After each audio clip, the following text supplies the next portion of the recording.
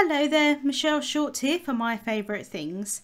Today I have a clean and simple card to share with you using paper strips and vellum butterflies. So let's get started. This is the Winged Wonders stamp set. It's so pretty. I'm going to stamp the butterflies onto heavyweight translucent vellum. I really love this vellum because it's very heavyweight so you could actually use it for card bases if you wanted to but it's still got that translucency to it so I do think it's really pretty. I'm going to stamp my butterflies on top.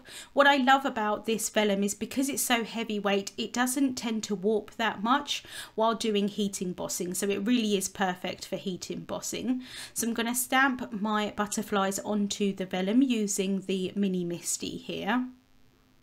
I'm just going to prep the vellum with an anti-static powder tool and remove the excess powder with a brush. I'm then going to ink up my butterflies using Versamark ink. This is a clear sticky ink so that the embossing powder that I add on top is going to stick to it. So I can just press down in the MISTI here once they're stamped, I can remove that and then I can apply some super fine white embossing powder. So I like to apply the embossing powder a couple of times, tap off the excess in between, and that's so that I get a really nice coverage of that embossing powder. I'm then going to heat set that until it's completely melted and you do want to be careful when heat setting on vellum because it can warp quite easily with the heat from the heat tool. So I'm just kind of doing a small area and then moving the heat gun away and then doing a little bit more. I did get a tiny weeny little bit of warping just on a couple of areas but because this vellum is so heavyweight you really don't see any of the warping and what I do after I finished heat embossing is I kind of fan the vellum in the air and that just cools it down really quickly and then it prevents any warping as well. I'm then going to take the Winged Wonders Die-namics and I'm going to place them on top of the images, hold them down with some low tack tape and run that through my die cutting machine. When I do any die cutting on vellum I like to add a scrap piece of paper underneath so that's what you can see there. I need to remember to remove it from the backs of the butterflies if it got stuck where it did on this top one here otherwise it looks like the vellum is very opaque but otherwise it's really nice and pretty. I like to just add that piece of paper behind so that I don't get any marks from the cutting pads onto the vellum. I've then taken some colours of cardstock that I'm kind of cut into strips. The light yellow is from my stash and then I've got MFT Lemon Drop, Grapesicle, Grape Jelly and Boysenberry. I thought these colours just worked really nicely together. So I've got a panel of white cardstock here that's cut to three and a half inches by four and three quarter inches. And I'm just using my butterflies here as a guide so that I can see where I want to place those paper strips. So I'm just going to place them down I want the cardstock to sort of be in the bottom right hand corner, but I'm going to show a little bit later that actually I could have done it in the top left hand corner as well. But I like to kind of try and focus my elements kind of into one area on a card, either that be in the middle or kind of like in the bottom kind of third or the top third. I do like to use the rule of thirds for card design quite often. So once I've figured out where those paper strips are going to be, I just removed the butterflies out of the way and then I've added some on point precision glue onto the back of those paper strips and I'm applying them in a diagonal. This is so that if they're not 100% straight, you're not really going to notice at all, which is what I really love. I am going to leave a small white gap in between each of the paper strips. I'm not too concerned if the gaps are all the same. I actually want them to be different, but I do want to try and make sure that it's straight as possible so that the gap is kind of the same all the way along the paper strip. So I'm just adding those one after another. Like I said, I'm kind of changing how much of a gap is in between each one just for some added interest. This is a really clean and simple card so sometimes those little details do make a difference.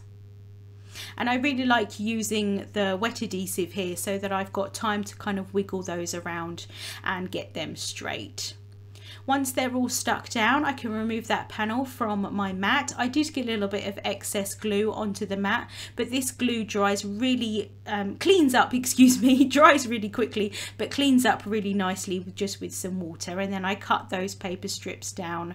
And so here I've kind of placed everything down where I think it's going to go. And then kind of thought, actually, what would it look like if I had the paper strips in the top left hand corner instead of the top right? So it's always worth, even if you've got a design in your head, to kind of not stick everything down and sort of move things around and see if you like something else better. I think it would look nice either way.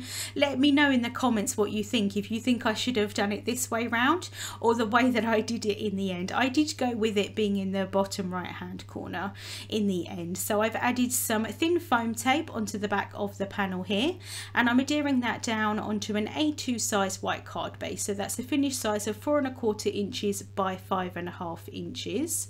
So I'm just placing that in the middle of that card base and then I can grab my butterflies so that I can see where I want them to go before I do adhere them down. I have stamped a sentiment from the Winged Wonders set onto some black licorice cardstock and heat embossed that. I've added some foam tape onto the back of that and then I'm just adding that onto that butterfly. So that's not actually stuck down yet. And what I can do is use that paper strip to my advantage or the sentiment strip I should say to add some adhesive behind it. So you're not going to be able to see that adhesive. And then I can adhere that down onto the card base. Trying to make sure that that sentiment is straight so I'm going to bring in my T-square ruler just to make sure that that is straight before I press that down. And then for the other butterfly here before I actually stick it down, I'm just going to manipulate the wings slightly. I want to have the wings kind of folded up on themselves so it kind of looks like the butterflies are either kind of in flight or they've just kind of stopped down on the card base kind of just getting their breath before they fly off again. I'm then going to take some vellum adhesive and add a very tiny amount just where that body is on the butterfly and then I can stick that down and that's going to stick that down absolutely fine because these butterflies are quite light in weight.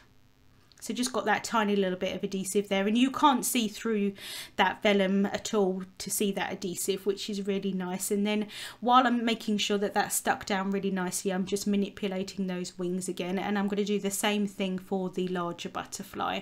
I think it's really pretty having those kind of a little bit more dimensional but also they do lay flat when you're going to put it in an envelope as well which is always nice. It's not too much dimension I'm then going to finish off by adding some iridescent droplets. So I'm adding a small dabs of the On Point Precision Glue and then I can just place the iridescent droplets on top. And that's just going to add a little bit of sparkle and shine onto the card. Even though the butterflies are translucent, I really like how they pop out against the bright colours of the paper strips in the background. I think this design would work really nicely as a card set, so you could do lots of different colour combinations of those paper strips. I think that that would work quite well, but I really love the dimension on the wings of those butterflies. So that's the card finished for today. Thank you so much for watching and I hope you have a wonderful day.